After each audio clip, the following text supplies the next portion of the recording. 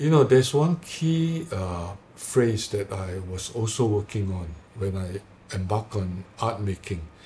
What is the meaning and truth of existence? So, living my life, doing my art. So there's this central question. There's these markers that that I make use of to to maneuver actually. Yeah. So I think that that is the dilemma of being a human, you know, that between two humans, you have different beliefs, different absolutes now, let's say, and different markers in life, and even different central questions about existence. So maybe human expression is just about having a dialogue and how you go about it, you know.